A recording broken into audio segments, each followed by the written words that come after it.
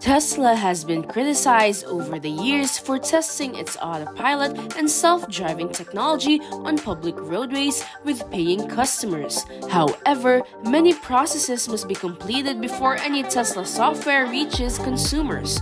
Tesla employees undertake internal testing in a simulation and then on closed courses and public roads. In this video, we will showcase Tesla's simulation in testing its autopilot and full self driving systems. If you don't want to miss any of these incredible details, keep watching the video. Number 1 Tesla's full self-driving feature. In their AI Day video presentation, they discussed the most recent breakthroughs in AI and how they are being utilized to progress the field of autonomous vehicles. Despite its extensive documentation, we will take a fresh look at the occurrence. Why? Every time a question similar to, okay, but when will I see or use this in the actual world, is posed. Absolutely, that is a fantastic inquiry. As you will see in this presentation, I am astounded at the rapidity at which these research findings get commercialized as goods. The manifestation of this effect can be observed by examining their system. One of their earliest objectives was to create this vector space perspective, and to do so, they developed vehicles with numerous cameras but without depth data and only the pixels from these sensors.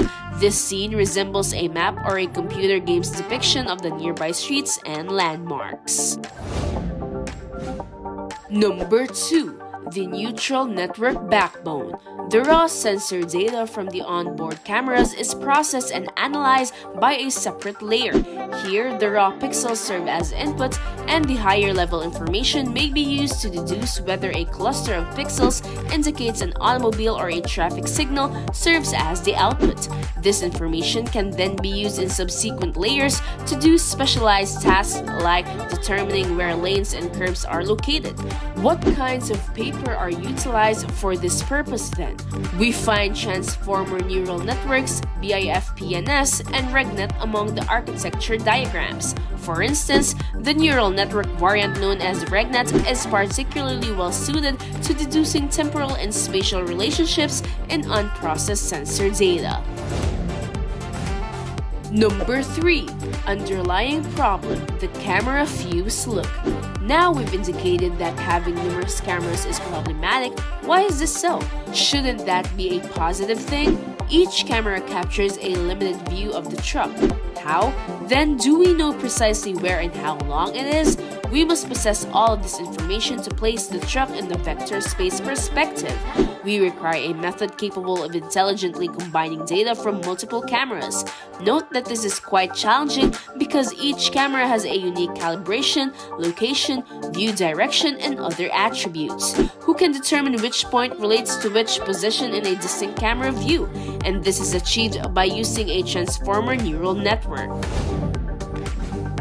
Number 4. Detection Single and multi cam. So, does this strategy of using multiple cameras work? Will this help? Yes. The yellow forecasts here are from when the network only had one camera, and as you can see, things changed. What's going on? Since a passing car moves out of the view of one camera and into the idea of the next, they don't have this matching system that would let them know precisely where it is. And look, the blue objects show what the network of cameras can do that things will happen. Even though the prediction isn't perfect, it is a lot better than what the single camera network could do. Number 5. Improved robustness to temporary occlusion. With only still pictures, how can we tell if this car is stationary? Will it be able to locate a parking spot quickly or is it excessively fast? This car is currently hidden from view, but we caught sight of it not long ago. We know exactly what's up to.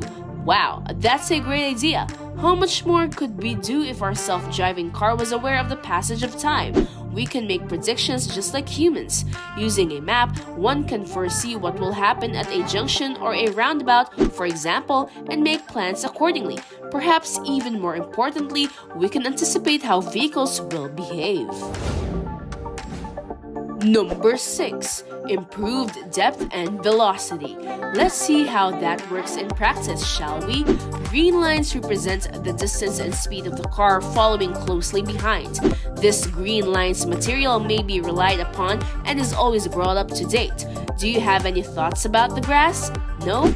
The new video network was correct in its forecast that it is difficult to distinguish since there is a blue line in the image. This indicates that its calculations of speeds and distances are exceptionally reliable. In addition, the orange demonstrates how inaccurate the older network is based on individual pictures. Number 7. Ability to align and reconstruct. Now, whenever a car drives somewhere, it has the ability to generate a rough map of its surroundings. Those readings can then be combined with the data from other cars to make a more accurate and detailed map.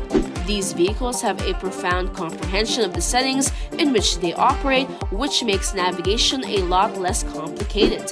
Consider these distinct labels that have been around for a long time. The flashing is so slight that it is almost unnoticeable. Even though it's not perfect, the progress in such a short time is astounding.